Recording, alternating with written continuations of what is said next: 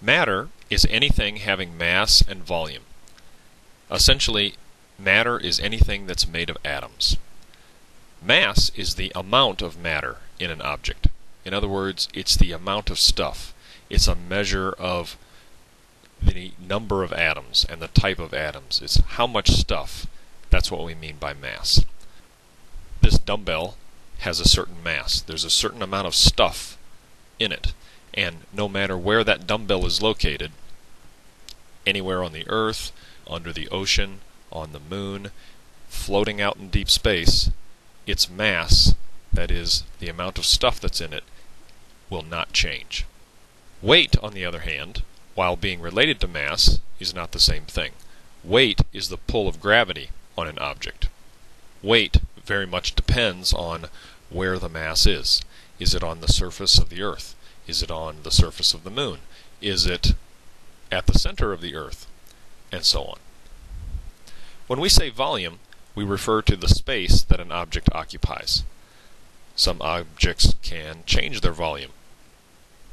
Common units for volume include the liter, the cubic decimeter, the milliliter, and the cubic centimeter in the SI system.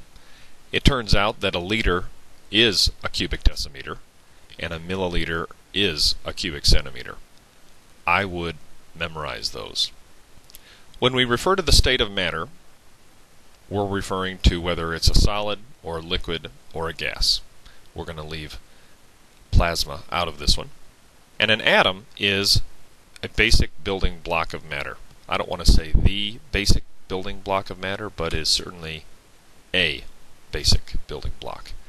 There are about a hundred different kinds of atoms. They're listed on the periodic table, and often it's useful to think of a particular type of atom as a particular type of Lego. An iron atom is, say, a 2x2 blue Lego. An oxygen atom is a 2x4 red Lego. That kind of thing, if you can imagine roughly 100 different types of Lego. Elements contain only one type of atom. Monatomic elements consist of unbonded, identical atoms. That is, when they're in their element form, they don't form molecules. We can think of monatomic elements as walking alone down the boulevard of broken dreams. Some examples of monatomic elements are iron, aluminum, copper, helium. Most of the elements on the periodic table we consider to be monatomic elements. This example right here, we could maybe model that as copper, atoms right next to one another. Here, a collection of helium atoms.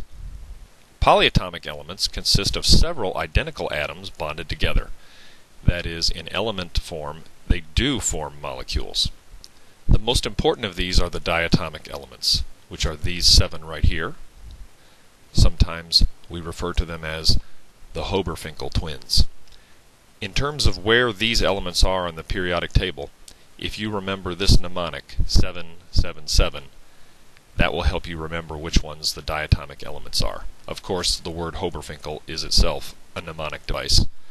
But if you start with element 7, which is right there where I've made that red circle, and you draw a big 7, and you count to 7, you will find the seven diatomic elements. Now, if you start with nitrogen, there's one, two, three, four, five, six. This one's iodine right here. And then number seven is way over here in the upper left, hydrogen. Those are the diatomic elements. Other polyatomic elements are phosphorus and sulfur. And you can see that those elements on the periodic table are stuck right in the armpit of that 7. Phosphorus tends to come in clumps of 4 atoms, sulfur tends to come in clumps of 8 atoms. Allotropes are different forms of the same element in the same state of matter. Oxygen has these two allotropes, oxygen gas, which is normally found as O2, and ozone, which is also a gas, which is three oxygen atoms bonded together. Carbon has several allotropes, elemental carbon, which is essentially carbon atoms not bonded to one another, sort of atoms standing next to each other with their hands in their pockets. Graphite, diamond, buckyball, all of these have different configurations of carbon atoms, but they're all solids. Those are allotropes of carbon. A molecule is a neutral group of bonded atoms. If we look at this table, we might symbolize one oxygen atom with the letter O, because O is the symbol for oxygen. And we might model it like a circle. An oxygen molecule, oxygen is a diatomic, so we would write the chemical symbol as O2, and we would model it as two circles touching each other, indicating that they're bonded. If we were to write two unbonded oxygen atoms, we might write a coefficient of 2 in front of the O, and when we model it, we'll draw those same two oxygen atoms, but you can see that now they are not bonded. Similarly, if we model a phosphorus atom as a red square, a phosphorus molecule, remember that phosphorus is a polyatomic element, it pals around in groups of four, we might model a phosphorus molecule like that. To represent four unbonded phosphorus atoms, we might write 4 in front of the P. You can see that depending on whether we write, if we look here at phosphorus, a subscript, that's referring to those atoms being bonded. If we write a coefficient out front, that simply means that we have to write that many of those atoms. So, elements may consist of either molecules or unbonded atoms. The chemical symbols for the elements appear on the periodic table. Only the first letter is capitalized. If there are two letters, only the first one is capitalized. You can see here the noble gases. They all have two letters, and only the first one is capitalized. Final thoughts on matter and the elements. 1. Matter is anything made of atoms. Weight is a measure of the pull of gravity on a mass. Volume is the amount of space a sample of matter occupies. 2. Elements are samples of matter that contain only one type of atom. Most are monatomic.